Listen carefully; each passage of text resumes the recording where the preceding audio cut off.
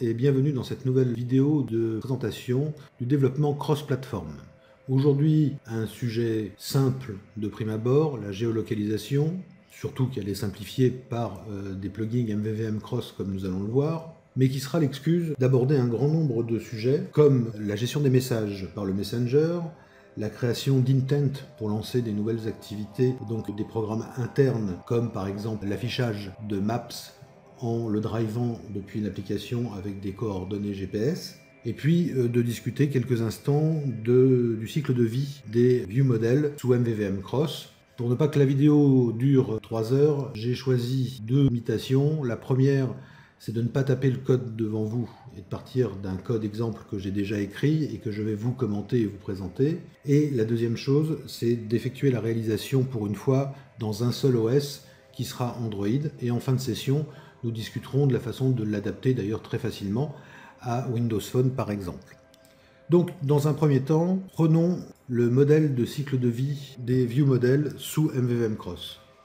C'est un rappel un peu de plein de choses que nous avons déjà vues et de certaines que nous n'avons pas vues il est intéressant de plonger dans, cette séquence bien particulière et vous pouvez retrouver bien évidemment euh, l'ensemble de ce que je vais dire ici en anglais sur le site GitHub qui explique le cycle de vie des, view models.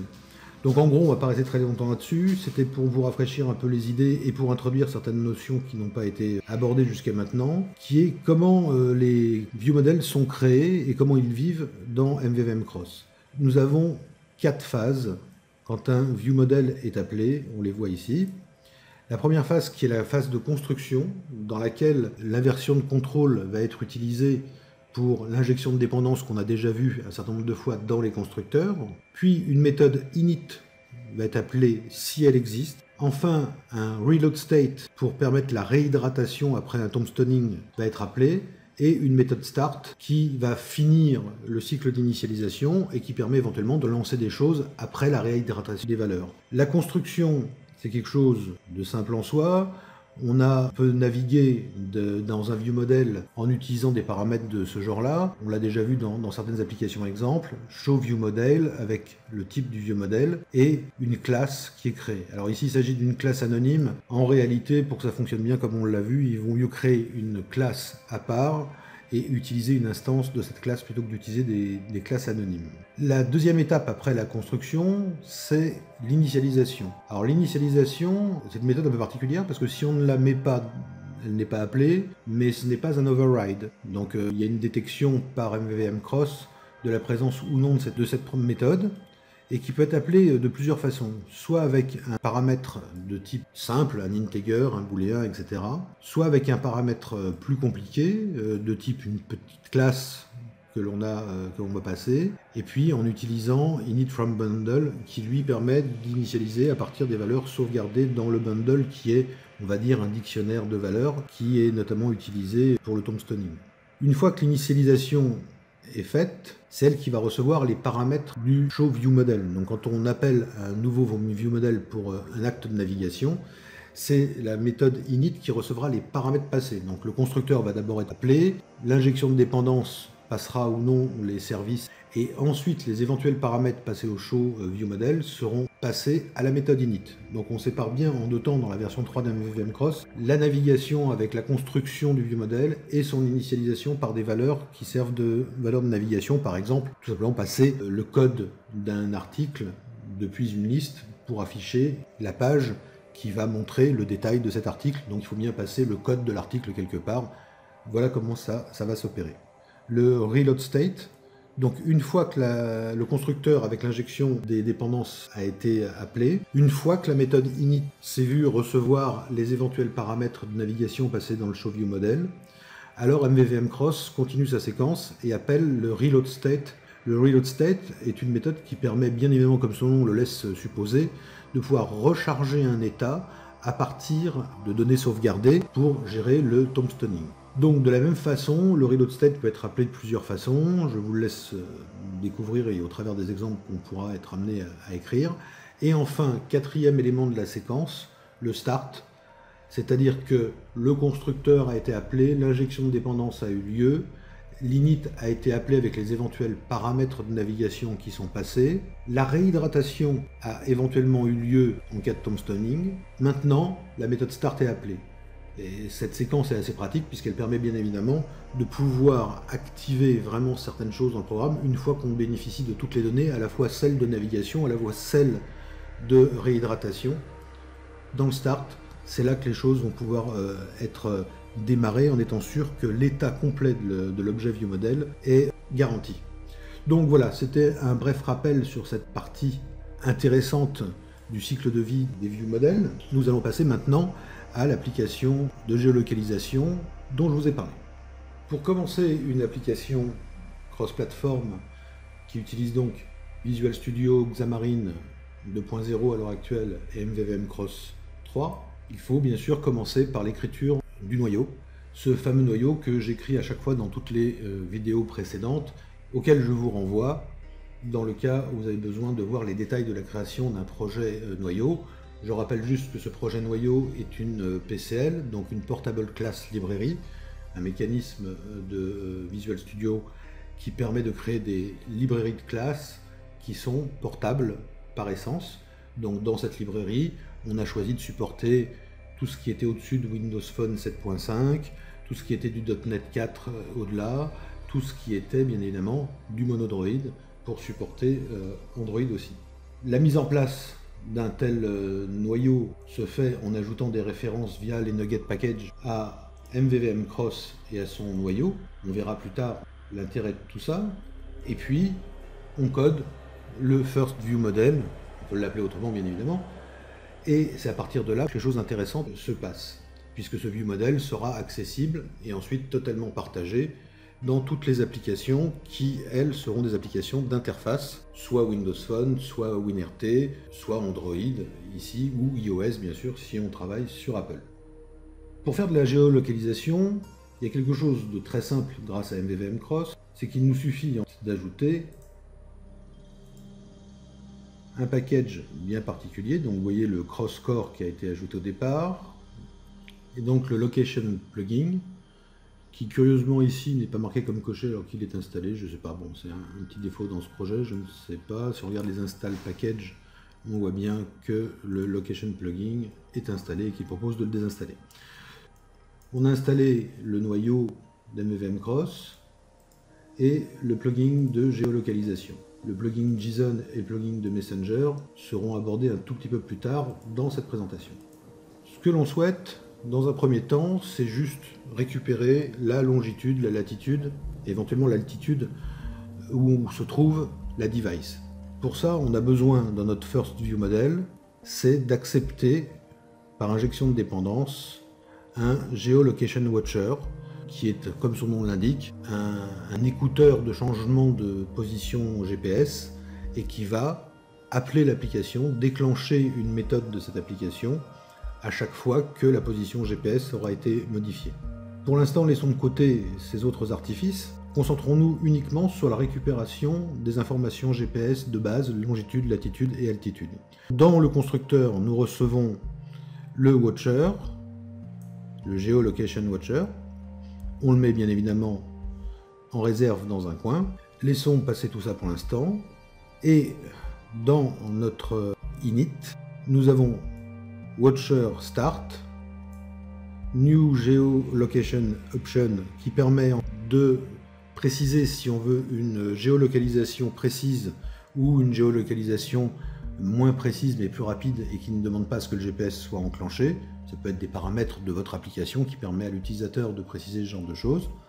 Et puis, selon un principe qu'on a déjà vu dans beaucoup d'autres euh, méthodes qui proviennent de MVVM Cross, des delegates qui vont être appelés des actions donc une quand la localisation et une nouvelle localisation est détectée, et une si une erreur apparaît. Laissons passer pour l'instant tous ces autres euh, paramètres. Nous avons besoin d'une latitude et d'une longitude complétée par l'altitude. Ensuite, nous avons maintenant l'ensemble de notre euh, système de géolocation. Je sais que ça peut paraître très rapide et très simple comparativement à tout le code qu'on vient d'ignorer, mais on a besoin en effet uniquement dans le constructeur d'appeler l'injection de dépendance pour obtenir un IMVX Geolocation Watcher, de stocker ce watcher. On a besoin dans la méthode init de démarrer ce watcher, de lui fournir deux méthodes, une en cas d'erreur et une en cas de succès d'obtention d'une localisation GPS. On lui passe des options pour dire si on veut un mode fin impliquant bien évidemment l'utilisation réelle du GPS ou un autre mode qui est déduit par les positions des bornes Wi-Fi, etc., etc., mais qui est plus rapide et qui consomme moins au niveau de la device, mais qui donne des résultats forcément moins précis géographiquement. Et puis on a besoin pour l'instant de trois propriétés, la latitude, la longitude et l'altitude, qui sont gérées de telle façon à euh, faire un res property change uniquement si les valeurs sont différentes. Ça serait bien suffisant pour pouvoir mettre en page très rapidement dans un stack panel XAML ou dans un euh, layout route euh, de type linear layout sous Android pour mettre à l'intérieur de ce stack panel trois text blocks ou trois textes view pour Android qui seraient bindés donc à ces trois valeurs. Nous avons vu qu'il y a plusieurs façons de, mettre en page les choses, et pour pouvoir afficher nos valeurs décimales, nous aimerions bien qu'elles soient formatées. En XAML, ça ne posera pas de problème, puisqu'en XAML, on peut formater des chaînes de caractères ou formater des nombres dans le code de XAML directement avec le string format. Euh, ce genre de choses n'existe pas forcément sous toutes les plateformes, notamment pas sous Android. La question se pose dans un projet cross platform de ce type de savoir euh, est-ce que l'on va laisser la responsabilité du formatage au vu, ce qui signifie que chaque projet d'interface devra gérer le formatage des chiffres à sa propre façon, puisque c'est un problème d'affichage, ça semble assez raisonnable, ou est-ce qu'on le place dans le view model? Ça c'est un vieux débat, j'en ai déjà parlé. Est-ce que les view models peuvent jouer le rôle de convertisseur de valeur ou pas? Si on regarde les définitions telles que celles que je vous ai proposées dans la dernière euh, vidéo, on s'aperçoit que dans l'esprit du créateur de MVVM, le ViewModel est bien une classe qui permet d'adapter les données à la vue. De ce fait, il est parfaitement raisonnable de penser que l'adaptation des données à la vue est le travail du ViewModel. La plupart des projets euh, écrits euh, en MVVM sous XAML contiennent relativement peu de convertisseurs de valeur aujourd'hui. On laisse cette responsabilité au ViewModel.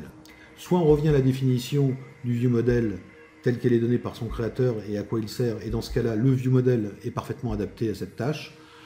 Soit on est un puriste euh, un peu extrémiste, et dans ce cas-là, on peut créer des convertisseurs pour tout et partout. Ce qui a été décidé dans ce projet, c'est euh, d'utiliser le vieux modèle pour ce à quoi il sert, c'est-à-dire adapter les données pour la vue.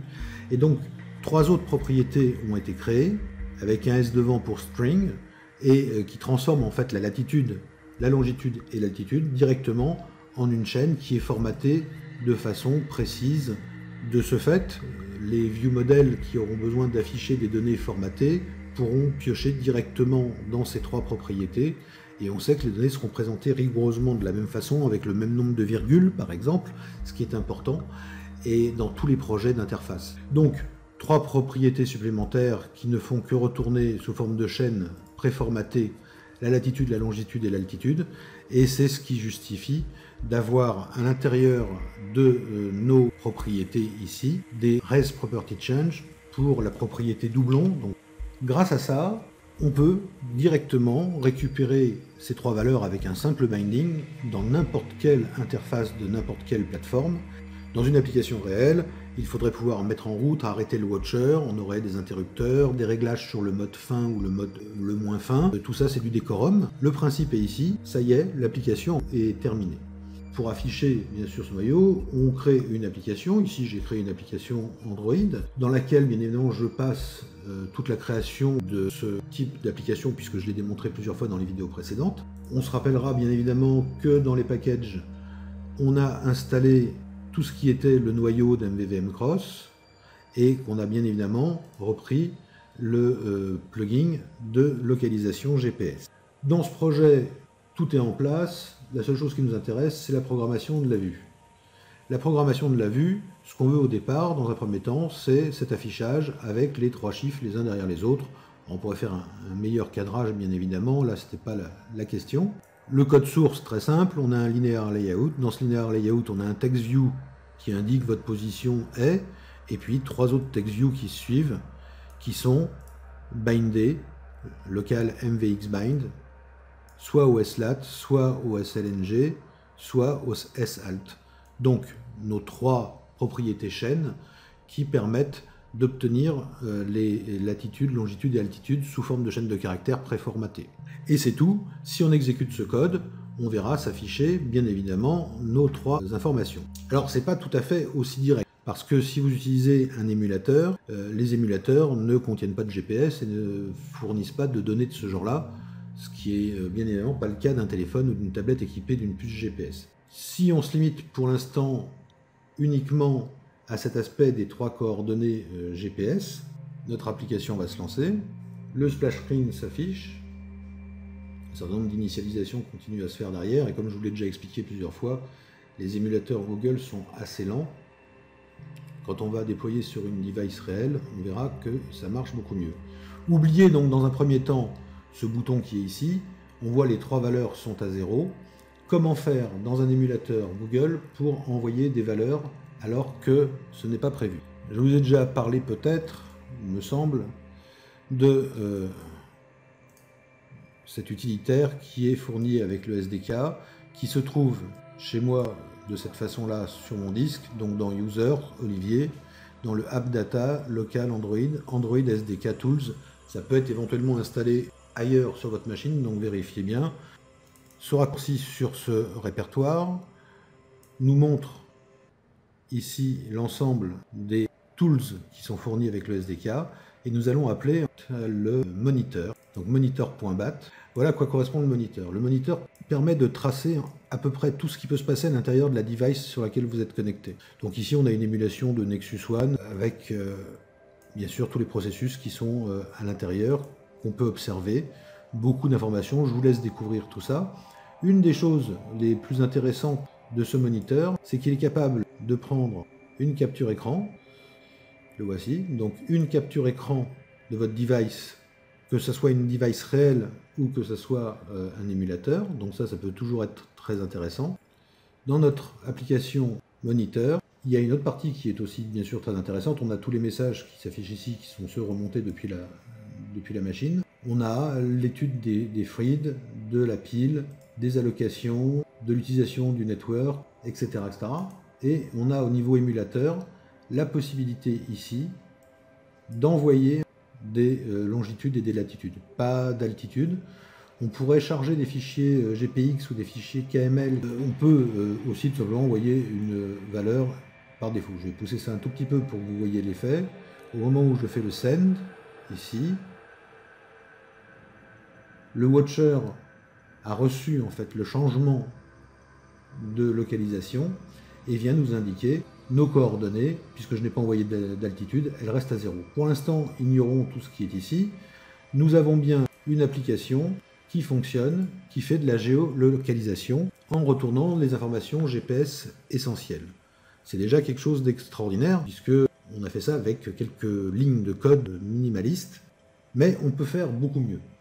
Beaucoup mieux, ça veut dire deux choses. La première, c'est d'obtenir des informations plus complètes que la longitude et la latitude, c'est-à-dire faire du géo-encoding, donc pouvoir recevoir en fait des informations complètes sur le lieu, notamment l'adresse ou des choses de ce genre-là. Et la deuxième chose qui sera encore beaucoup mieux, c'est de pouvoir afficher directement sur Google Maps le point qu'on a indiqué.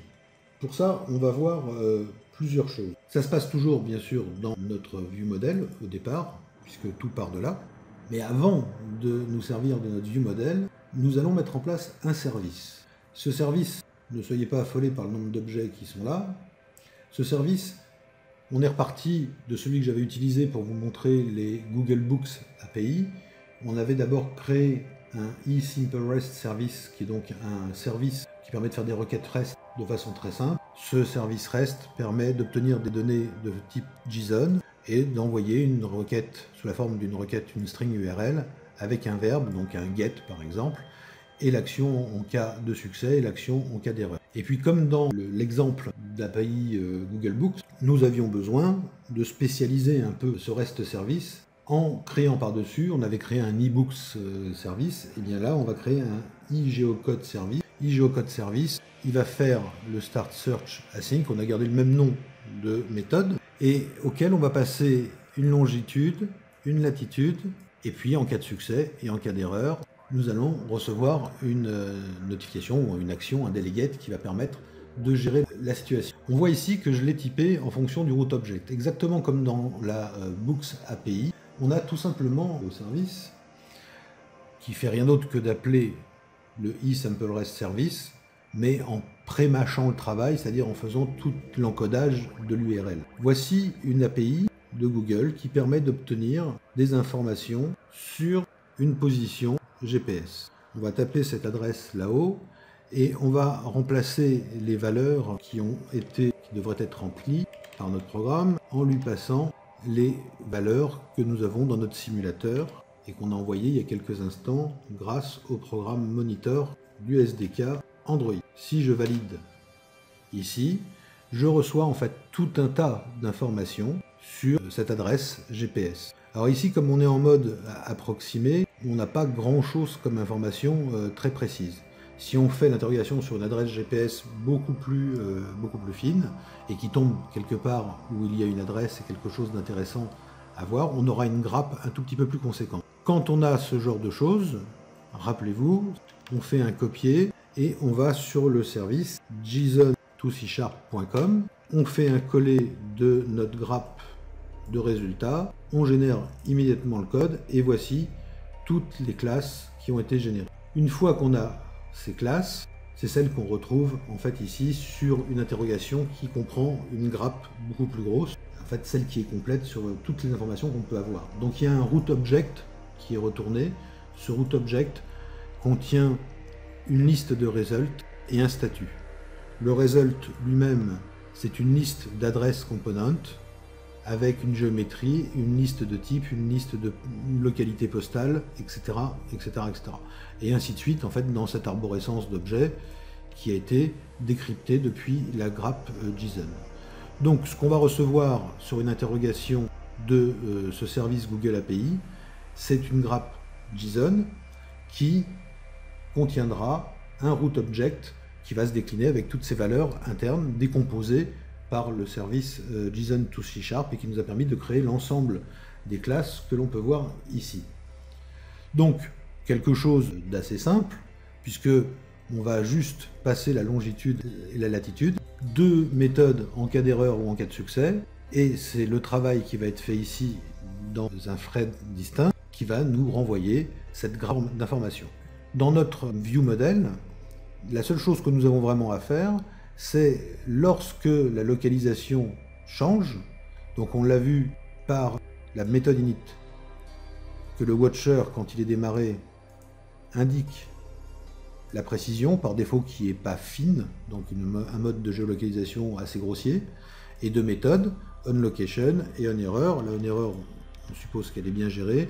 La onLocation, que fait-elle? Elle nourrit bien évidemment les trois propriétés elle remet à zéro le GeoObject et on va géocoder donc cette adresse en appelant geocode. Geocode comment on l'a eu? Puisque c'est un service qu'on a défini ici, le eSimpleRest et le euh, eGeocode service. C'est ce qui justifie que dans notre constructeur, indépendamment du watcher qu'on a déjà utilisé pour obtenir l'adresse GPS depuis le plugin MVVM Cross, nous allons demander un iGeoCode service, donc notre iGeoCode service, on va demander une instance qui sera passée par injection de dépendance. Donc on le stocke comme le watcher dans une variable en read-only, puisqu'elle n'a pas besoin d'être modifiée derrière. Ça évite les erreurs de programmation. Et cet objet ne contient, n'expose qu'une interface qui elle-même ne contient qu'une seule méthode à laquelle on passe la longitude et la latitude qu'on vient de recevoir et qui, en cas de succès, renseigne l'objet GeoObject, qui est une propriété, avec le résultat. Alors, quel est cet objet GeoObject L'objet GeoObject, on a vu qu'on avait des propriétés pour la longitude, la latitude, etc. De la même façon, en fait, on a créé une propriété pour le root object, donc du type de cet objet qui nous a été décomposé grâce à JSON to C Sharp, et qui est l'objet réponse que l'on va recevoir. Cet objet réponse déclenche un REST Property Change, et à partir de là, on peut réutiliser toutes les informations qui sont à l'intérieur. Pour faire simple, et pour pas avoir à traiter l'ensemble des informations et faire un code euh, fastidieux, j'ai fait un autre code qui est un peu fastidieux lui aussi, mais quand même qui est euh, plus rapide, qui est que toutes ces classes, je leur ai rajouté un override de la méthode toString, qui permet de retourner les informations de chaque classe. Ici, par exemple, une location, ça renvoie une latitude et une longitude. Voilà, le toString renvoie toutes ces informations. De fait, l'objet route utilise un string builder, il ajoute le statut, et après, pour chacun des résultats dans la liste, il ne fait simplement que demander un toString, et les toStrings se propagent les uns les autres, ce qui va me faire une belle liste de chaînes qui va être transformée en une chaîne unique.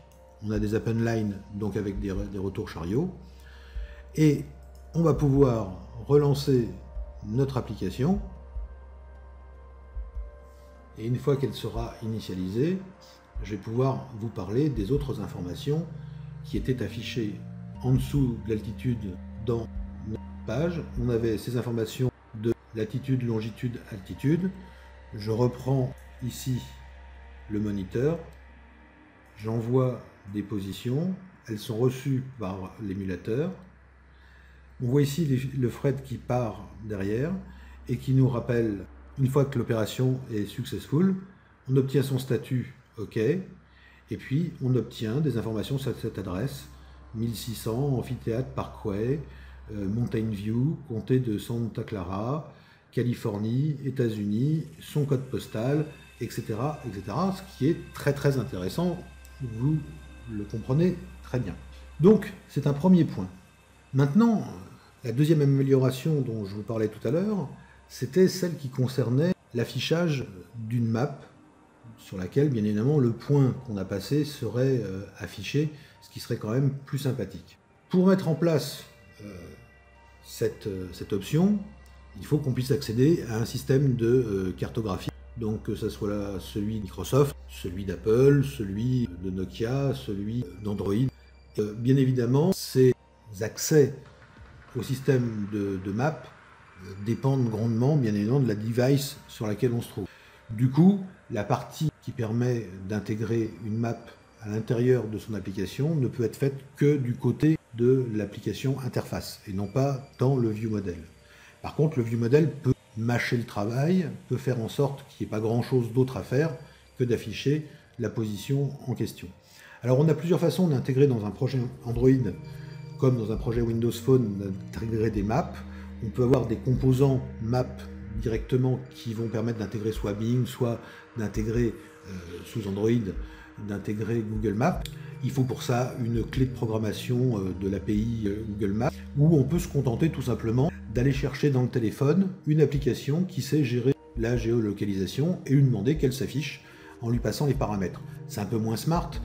Là, c'est une application de démo, on ne va pas pousser les choses trop loin. Donc, ce qu'on va faire, c'est que quand une nouvelle position est disponible, on a un bouton qui nous permet de demander l'affichage de la map et on va appeler le programme par défaut qui sur la device est capable d'afficher cette map. L'ensemble euh, des commandes sont bien évidemment dévolues au ViewModel côté noyau, côté application noyau, mais l'affichage de la map elle-même étant spécifique à la plateforme, il va nous falloir faire une partie du travail sur la plateforme.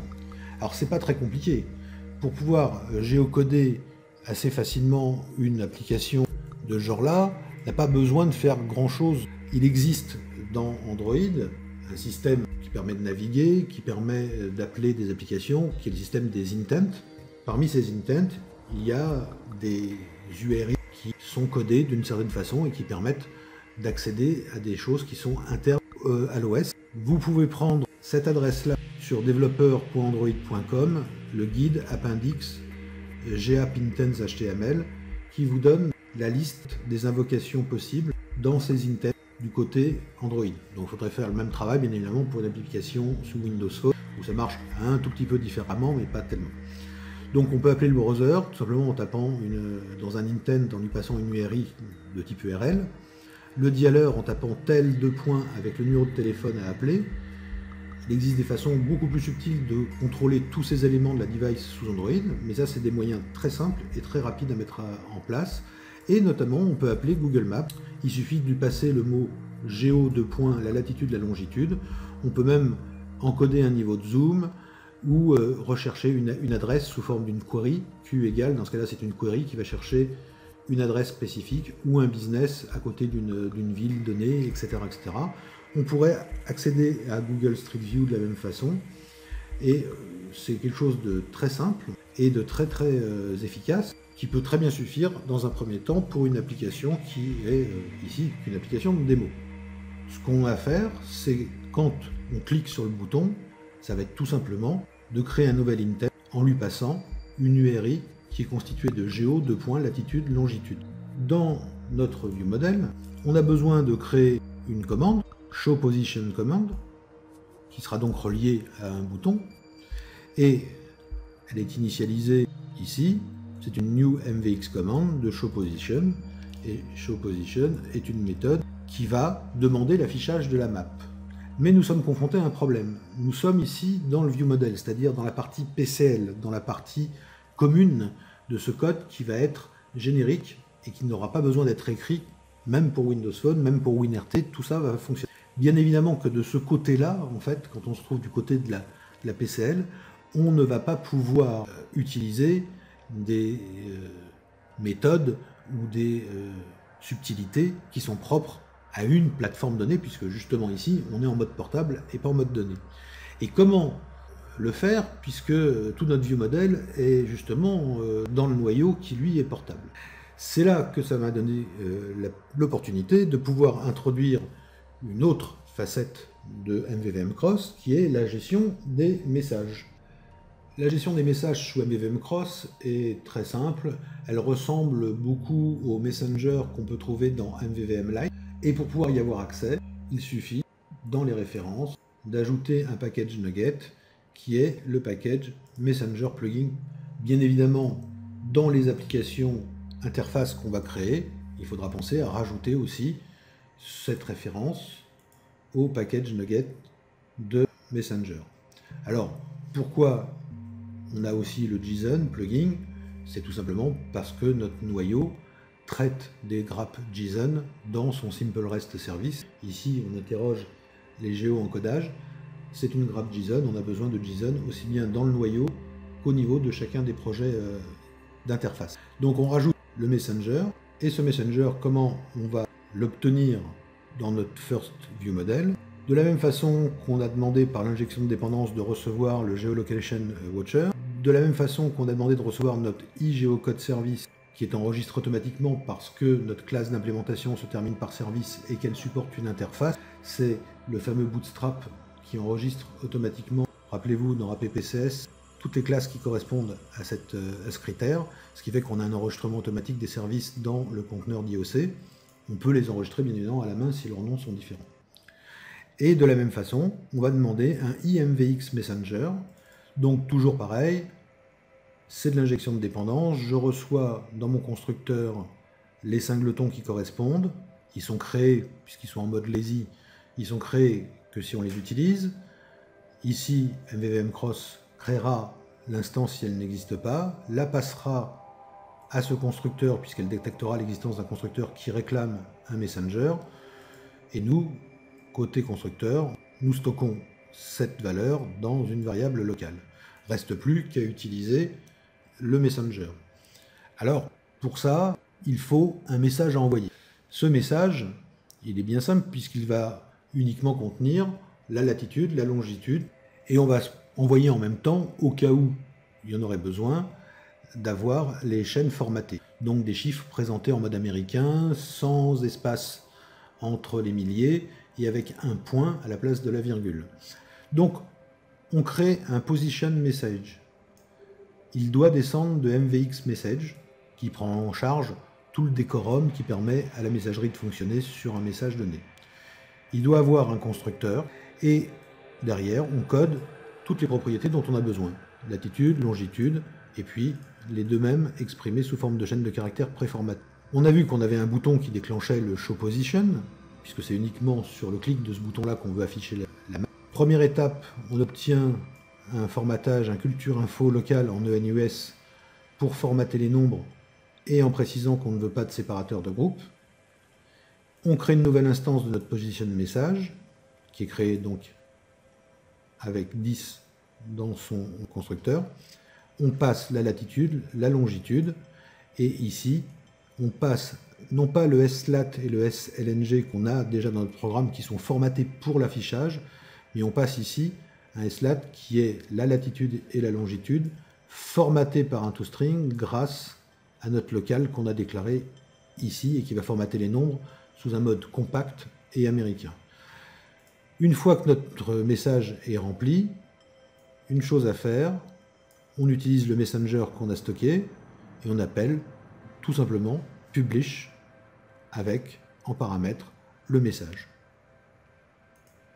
L'envoi d'un message est donc quelque chose d'excessivement simple qui prend une seule ligne de code et uniquement un paramètre à passer dans le constructeur pour que l'injection de dépendance puisse automatiquement nous passer euh, l'objet singleton dont on a besoin pour ce service. On va me dire maintenant comment fait-on pour le recevoir? Normalement, ce système de messagerie a été plutôt conçu au départ euh, dans ces méthodes pour permettre la communication entre les view modèles différents. Donc les view modèles vont tous, tous ceux qui veulent gérer le message en tout cas, n'ont qu'à déclarer un IMVX Messenger dans leur constructeur pour que par injection de dépendance, ils reçoivent le Messenger. C'est assez simple. Et derrière, au lieu de faire un publish, ils peuvent tout simplement s'enregistrer pour recevoir le message.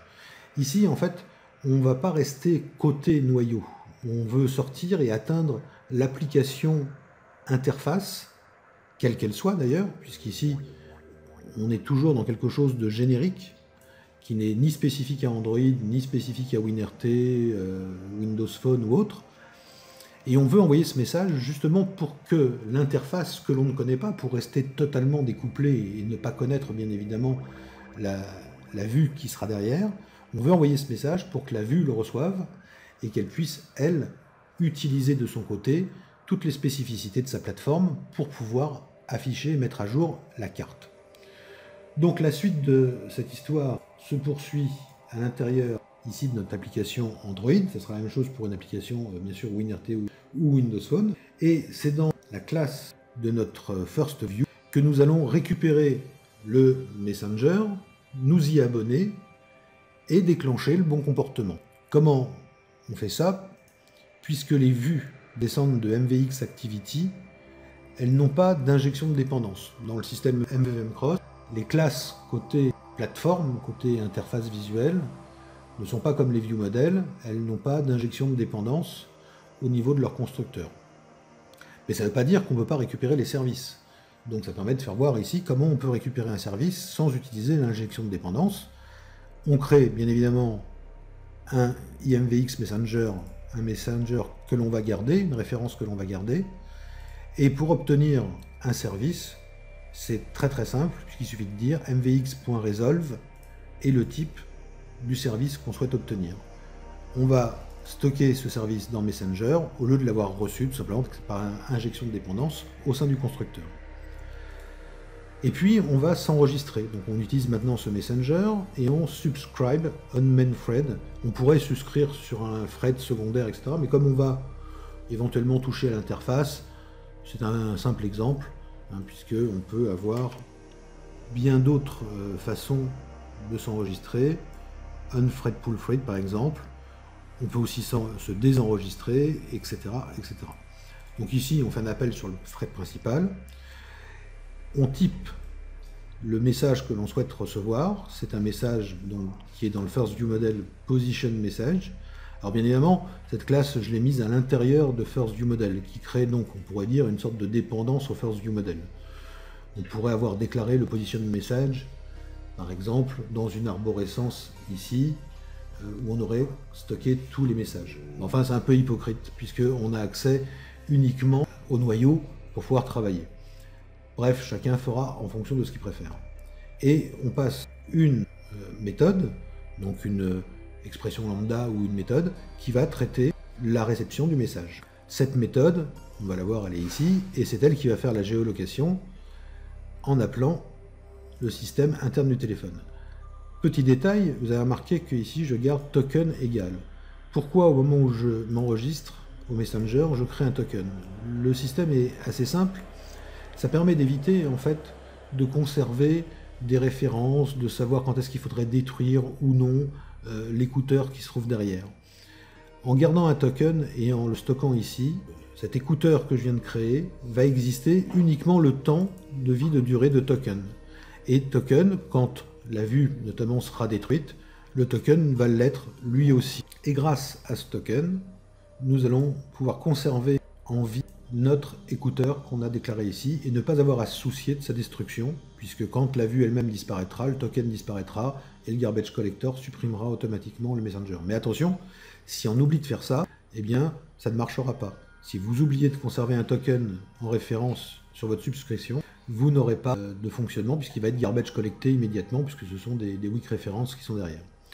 Dans le onLocation message, où on reçoit donc notre message en paramètres avec son type, on encode une chaîne de caractères qui est, comme on l'a vu dans la doc de Google, géo de point latitude virgule longitude, et on utilise les versions chaîne de caractères qui, on le sait, ont été formatées spécifiquement pour être des nombres purs à l'anglaise, donc sans séparateur de milliers, avec un point à la place de la virgule, etc. Et puis derrière, on appelle une méthode, là typiquement Android, qui est Start Activity, qui réclame bien sûr un nouvel intent. Cet intent, c'est un action view, on le type de cette façon-là, et on lui passe un URI parse de Geo, donc de cette URL. Et c'est tout tout fonctionne bien, on va relancer euh, notre application et on va pouvoir voir le résultat. Alors je suis navré si vous entendez des bruits de grosses bêtes, je ne suis pas au zoo, mais c'est mon briard de 60 kg qui de temps en temps aime bien rigoler un peu. L'application est en train de se charger, l'application est lancée, les dernières initialisations de debug notamment se font, on voit la trace, et nous allons revenir donc sur l'affichage qu'on a pu voir depuis le départ, et maintenant vous en comprenez chacun des éléments, l'affichage des trois données latitude, longitude et altitude, le bouton qui va permettre d'afficher, donc qui est connecté en binding par son clic sur le Show Position Command, et en dessous, les informations qui permettent de compléter l'adresse. Donc on reprend notre moniteur et on va envoyer une position GPS à la device. La voici. Les frais qui sont ici sont partis chercher les données supplémentaires donc du géo-encodage qu'on a mis en place.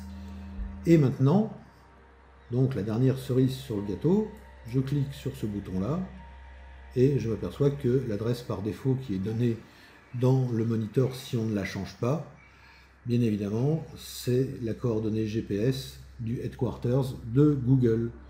Donc ici, on peut euh, dézoomer, on est bien sur Google, afficher des layers ou d'autres, et se promener. Je reviens en arrière, et je pourrais changer les coordonnées. Mais pour terminer, on va faire quelque chose d'encore mieux, c'est qu'on va essayer de brancher cette application sur une véritable device qui dispose d'un vrai GPS pour voir comment ça fonctionne. Donc, je vais stopper le debug de ce côté-là. Le temps de brancher mon S3 sur son câble USB, on se retrouve dans deux secondes. Voilà, mon S3 est branché en USB. Bien évidemment, dans ses paramètres, j'ai activé les options de développement et le débogage USB qui va permettre d'utiliser la device. Et on relance notre application. Voilà, la device apparaît, le Samsung i9300 qui est donc le S3 est bien branché et je demande le déploiement. on voit que ça va quand même nettement plus vite, hein, c'est quasiment terminé. Et j'ai l'affichage qui vient d'arriver sur mon S3. Alors vous allez me dire, euh, comme je fais une capture écran sur mon PC, comment vous allez voir que ça fonctionne? Vous n'allez rien voir du tout. Mais par contre, toujours l'astuce de notre moniteur. Grâce au moniteur, je vois ici mon Samsung. Qu'est-ce que je vais pouvoir faire? Je vais pouvoir d'abord lui dire que je veux un snapshot. Et voici une capture de ce qui est en ce moment affiché sur mon S3. Autre astuce que je voulais vous faire voir, je peux faire un snapshot beaucoup plus intelligent. C'est-à-dire que j'ai la copie de mon écran, mais vous voyez, les zones, on va agrandir ça au max, voici. Vous avez la capture de l'écran, mais vous voyez ici la structure entière des text view, des linear layout, leur position, leur valeur, etc., etc. Ce qui est un outil de debug absolument extraordinaire. Si on vient ici, on voit que c'est un bouton, on voit ses coordonnées, on voit l'ensemble de, de, ces valeurs, ce qui permet d'inspecter bien évidemment le contenu d'une application quand on a un doute sur euh, la provenance d'une valeur ou un champ qui ne s'affiche pas, etc. Donc tout ça provient de l'appareil et c'est un système bien évidemment extrêmement pratique. Donc si je veux simplement une capture écran, je passe par ici. Là c'est une capture totalement fixe ou une capture intelligente avec analyse de l'UI. J'ai l'UI qui apparaît ici et on peut voir que ici par exemple j'ai un text view qui est, comme je vous le disais, je vous ai pas menti, la preuve, dans un scroll view.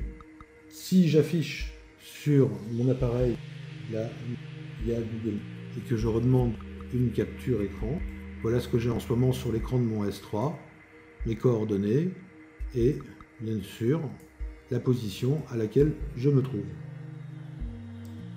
Donc voilà comment on peut euh, utiliser des idées très simples de départ, les améliorer. Et ici, dans cette euh, vidéo, qui fait un peu plus d'une heure, mais peut-être un peu moins quand je l'aurai monté, on a vu à la fois comment on pouvait obtenir de la euh, géolocalisation via le GPS, comment on pouvait utiliser le messenger d'MVVM Cross, comment on pouvait envoyer des messages pour que les parties spécifiques à la plateforme soient réalisées par la vue, mais sous le contrôle totalement découplé malgré tout du view model. On a vu comment appeler des applications internes, notamment sous Android. On a vu en début de cette session un rappel du cycle de vie des view models. On a vu la mise en place d'un service très rapidement, puisque c'est à peu près la même chose que ce qu'on avait fait dans la démonstration sur les euh, Google Books API. Bien évidemment, dans les dernières petites choses qu'il faut rappeler, c'est que l'application Android, comme euh, toute autre application de ce type-là, euh, doit, dans son système de manifeste, pour indiquer à l'application qu'elle doit et qu'elle a les droits de gérer la géolocalisation, puisque ça sera validé par le Play Store au moment du déploiement et de la mise sur le Play Store de l'application. Euh, de, la même façon, pour l'application Windows Phone, on a comment on ferait en Windows Phone? On ferait exactement la même chose que ce qu'on a fait là, sauf qu'on créerait une nouvelle application Windows Phone. On rajouterait bien sûr la référence au noyau, on rajouterait les euh, éléments de base de MVVM Cross, les plugins aussi bien JSON que les plugins de géolocalisation.